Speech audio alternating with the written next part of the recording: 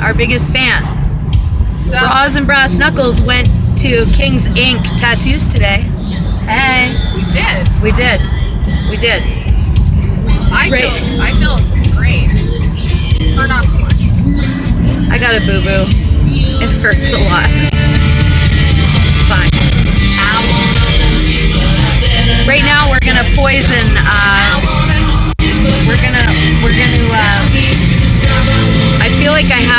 have some poison in my knee right now.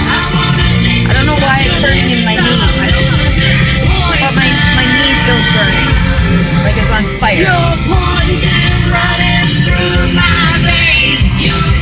Yeah, And just poison.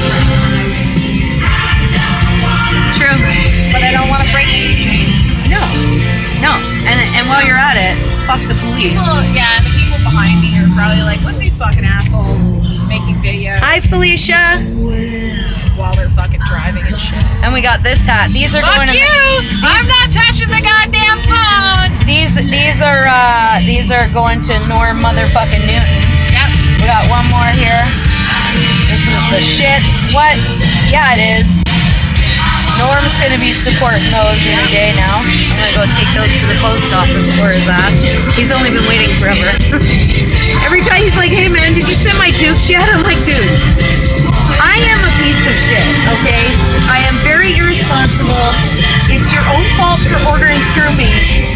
right here. You know." Famously irresponsible as fuck. I am, but he knew that when he ordered them. You know, he's like, "Well, winter's almost over." I'm like, "That's fair," and I, th- I am sorry about that. But think about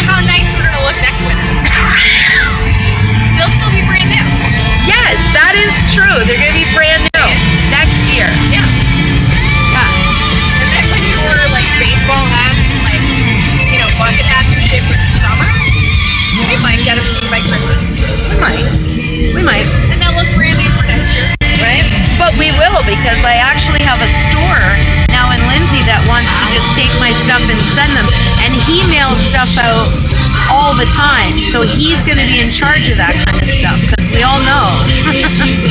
I am not good at that. A long time ago, I used to have this beef with the girl that worked at the post office. My own fault, but whatever. Well, no, no, no, it fucking wasn't. Anyway, uh, so she used to fuck me up a little bit, and I, I, anyway, I'm not going into that. Regardless, irresponsible even now that I am allowed at the post office.